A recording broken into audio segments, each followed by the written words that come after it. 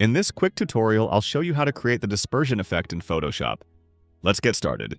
First, make two copies of the background layer by pressing Ctrl and J twice. Hide both copies by clicking the eye icon, select the background layer, pick the lasso tool, and make a rough selection around the subject. Right-click and choose Fill.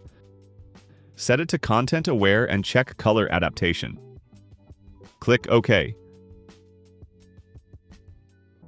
Press Ctrl and D to deselect. Unhide the first copy layer. Go to Filter, Liquify. Select the Forward Warp tool.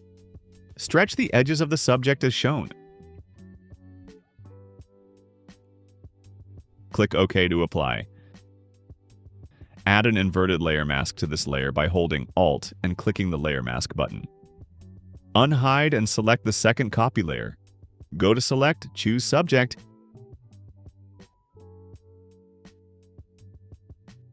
and then click the Layer Mask button. Select the Brush tool and choose a dispersion brush from the brush panel. Download link for the dispersion brush set is given in the description.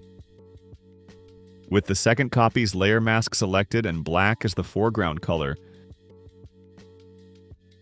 brush along the subject's edges to create the cracking effect. Use the bracket keys to adjust brush size. Switch and rotate brushes for a better look.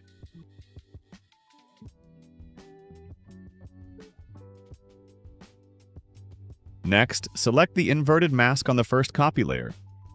Set the foreground color to white and brush along the subject's edges to add scattered particles. Again, keep changing the brush size, type, and rotation while brushing to make it look more realistic.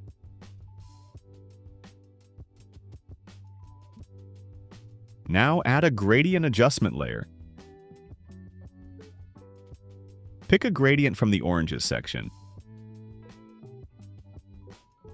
Move the gradient layer to the top. Set its blending mode to soft light and opacity to about 20%.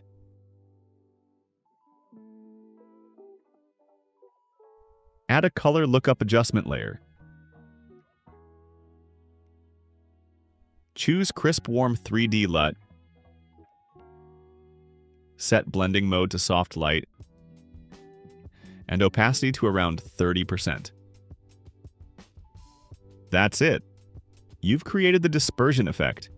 If this tutorial helped, don't forget to like, comment, and subscribe. Thanks for watching. See you in the next one.